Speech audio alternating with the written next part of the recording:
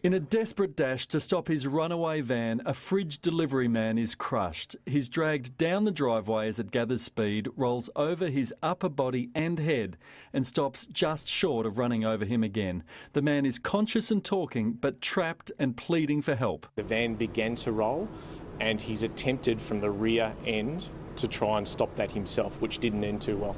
His mate jumps into the van to turn off the engine, then runs to the back. His initial thought to push the van forward.